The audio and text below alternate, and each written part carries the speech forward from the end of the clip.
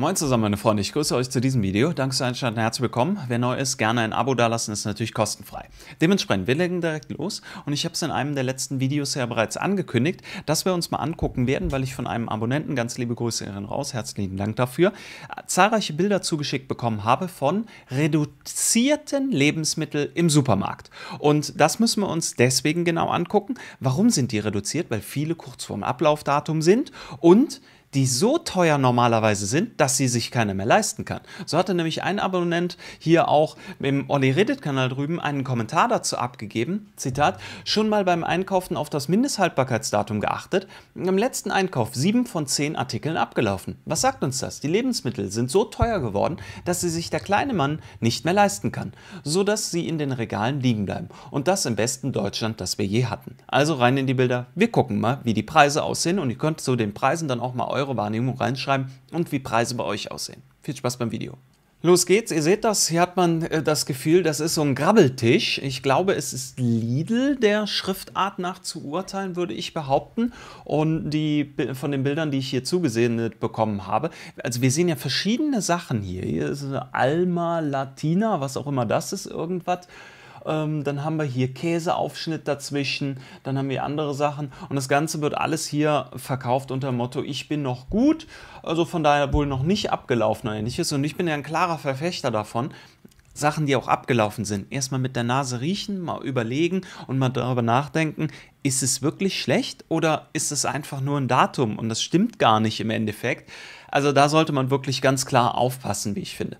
Ansonsten hier sogar Butter, zwei verschiedene, die hier rumliegen, noch so eine Alpro, ist es Milch? Ich glaube ja.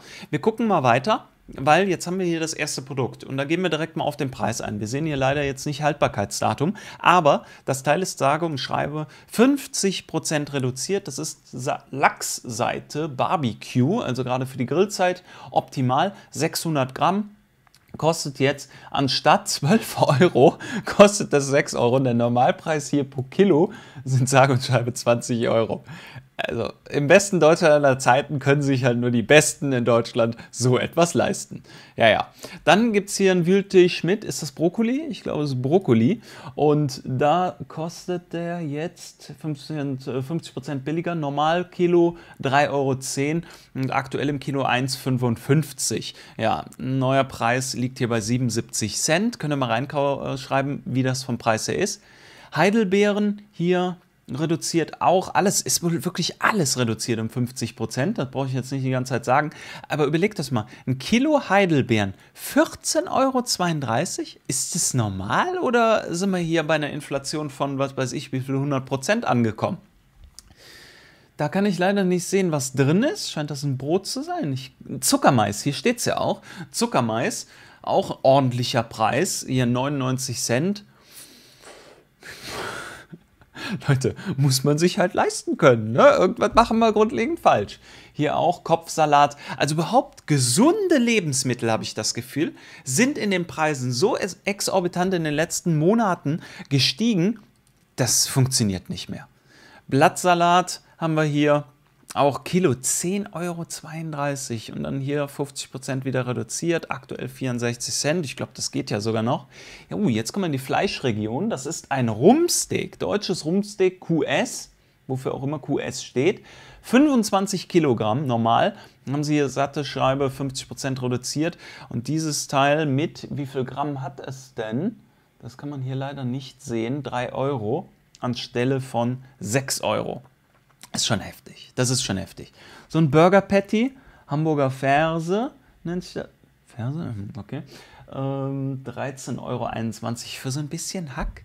Haltbar 27.06. Und ich habe die Bilder auch am 27.06. glaube ich von ihm geschickt gekriegt, wenn ich es richtig im Datum um, äh, im Kopf habe. Und wenn man davon ausgeht, dass ein, zwei Tage vorher gemacht wurde, das Foto, das ist schon krass. So, das Bild ist doppelt, das brauchen wir nicht nochmal.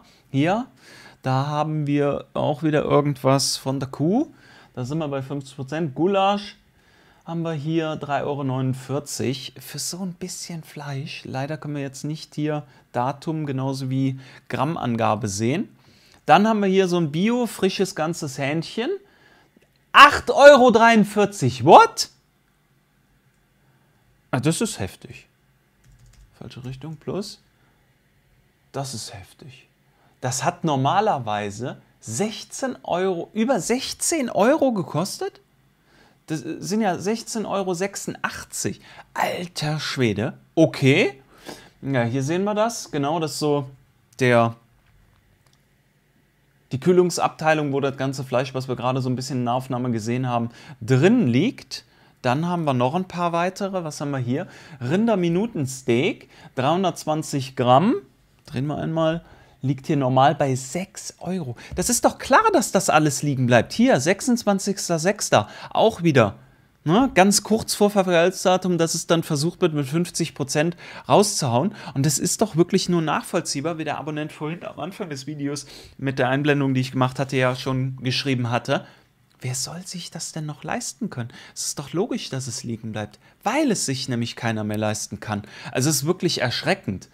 27.06. ist wirklich alles hier ganz kurz vor Verfallsdatum, so scheint es mir.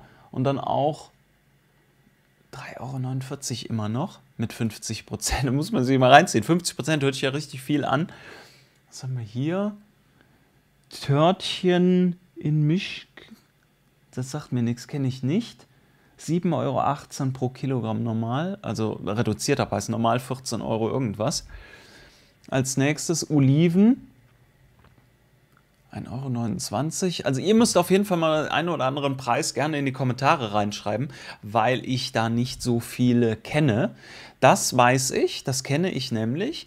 Ähm, das ist vegetarisches Essen, also auf irgendeiner, ja, irgendeiner Basis, wo das immer dann erstellt und gemacht wird. Veganen Hack auf Erbsenbasis ist das nämlich, genau. Habe ich noch nicht probiert. Ich habe es allerdings schon zu Hause liegen. Folgt mir ja gerne bei Insta, da werde ich das Ganze mal testen. 28 Euro das Kilo. Ja, Brustmahlzeit, okay. Die Packung hat jetzt hier 1,99 gekostet. Dann haben wir hier irgendwas Reismäßiges. 2,99, jetzt 1,49. Irgend so ein Dip. 1,14 Euro, normal 2,29 Euro. Hier auch hier ebenfalls, also ordentliche Preise, die trotz 50 Prozent, das finde ich so krass, immer noch hier aufgerufen werden. Wieder so ein Dip, ich glaube, der war gerade auch schon mal. Dann haben wir hier einen Brotaufstrich, 150 Gramm, 49 Cent.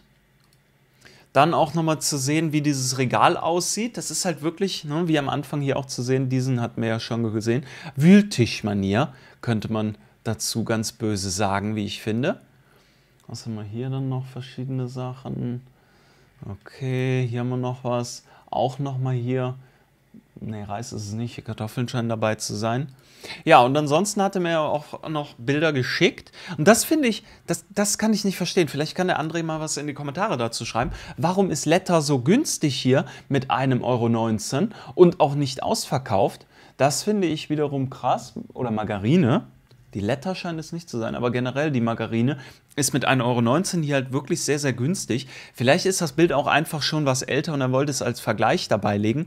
Ähm, das kann ich nicht sagen, da müsste er was in den Kommentaren zu schreiben. Und ansonsten hier Weizenmehl ausverkauft. Hier sehen wir auch noch, dass irgendwas ausverkauft ist. Was ist das? Eier, die ausverkauft sind, zumindest hier in dem Fach. Hier unten nicht. Man kann leider den Preis hier nicht sehen. Und dann haben wir noch zwei Reduzierungen. Irgend so ein was ist das? Soda Stream Add-on, also irgendwas zum Mixen. 2,99 normal, jetzt 1,50. Was haben wir weiterhin noch? Nochmal 50% reduziert. Bambu, Garden Cock, was auch immer das ist. 89 Cent jetzt. Und last but not least, weiß nicht, irgendein Aufstrich, irgendwie wird ein Dip oder sonst was reduziert auf 59 Cent. Also wir sehen, Freunde, die Preise sind massiv hoch, wie ich persönlich finde. Man versucht, ne, wir haben ja jetzt auch zahlreiche hier, bei dem ja auch nochmal 28.06. Ablaufdatum, kurz vorm Ablaufdatum versucht man die Sachen noch rauszuverkaufen, weil ich glaube, es ist doch in Deutschland auch so, dass ab dem Mindesthaltbarkeitsdatum, sobald das erreicht wird, dürfen die Geschäfte die Sachen gar nicht mehr verkaufen. Habe ich das richtig im Kopf? Ich meine, es ist so. Ihr könnt mir mal in die Kommentare schreiben, wenn ihr darüber mehr wisst. Also wir sehen einfach, dass die Preise wirklich exorbitant hoch sind. Schreibt eure Wahrnehmung gerne dazu unten rein. Trotz 50% Rabatt sind sie weiterhin hoch. Es wird gemacht offensichtlich, um über das Verfallsdatum nicht ähm, rauszukommen. Man versucht also dadurch den, ja, den Verkaufsanreiz deutlich zu erhöhen bei den Firmen, weil sie merken, hm, zu diesen Normalpreisen bekommen wir die Sachen einfach nicht mehr weg. Und das ist, wie ich finde, eine ganz, ganz unangenehme Entwicklung. Und besonders bei diesen Preisen, die wir jetzt hier gesehen haben, das war ja nur ein Teilauszug, weil muss ja noch mal, wenn ihr noch andere Bilder habt, schickt sie mir gerne mal zu, per Telegram, per E-Mail. Ähm, gerade Butter, Margarine und alles, deswegen kann ich das mit der Letter gerade nicht verstehen. Oder Margarine stand da, welche so günstig sein soll. Die kostet mittlerweile 3, 4 Euro bei uns in der Ecke. Also das ist wirklich ganz, ganz heftig. Schreibt eure Wahrnehmung dazu, zu den Preisen und so weiter gerne mal rein, weil die Inflation 7,6% jetzt, das haut nicht hin, meiner Meinung nach. Danke fürs Zuschauen, Abo nicht vergessen für kritischen Content, Daumen hoch fürs Video, bis zum nächsten und ciao.